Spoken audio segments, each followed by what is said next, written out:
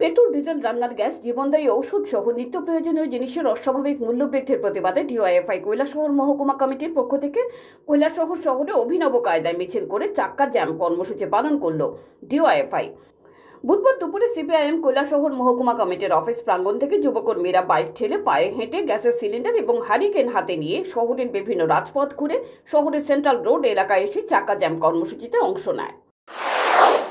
যুবক ফেডারেশন বা কোনো গড়ের যুবক হয়ে অভিভাবক বৃদ্ধ অভিভাবকের সারাদিনের পরিশ্রমটুকু চারশো পাঁচশো টাকা নিয়ে যখন বাজার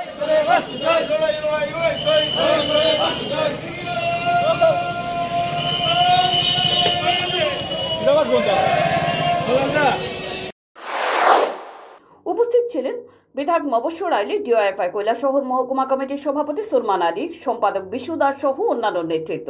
চাক্কা জ্যাম কর্মসূচিতে এবং মিছিলে প্রচুর সংখ্যক কর্মী সমর্থক সহ সাধারণ মানুষ উপস্থিত ছিলেন।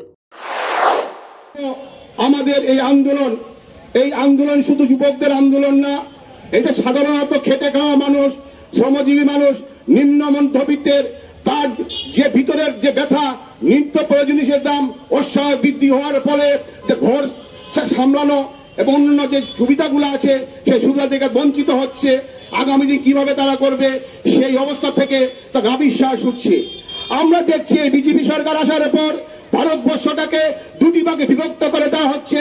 একটা হচ্ছে যে কর্পোরেট দুনিয়ার যারা যারা আছেন, তাদের কাছে ভারতবর্ষের যে একটা পরে একটা যে রাষ্ট্রীয় সংস্থা আছে, সেই সংস্থা জলের দরে বিক্রি করে দেওয়া হচ্ছে। আর আমরা যারা খেটে খাওয়া মানুষ, শ্রমজীবী অংশের মানুষ, যারা নিম্ন মধ্যবিত্তের মানুষ, আমরা লক্ষ্য করতে পারি যে প্রত্যক্ষ না হোক, পরোক্ষভাবে দিনের পর দিন যে বাজারে যে দ্রব্যমূল্য নিয়ন্ত্রণ, তার হাতে নাগালে বাইরে গেছে। নিত্য যেন রিপোর্ট চ্যানেল দিন রাত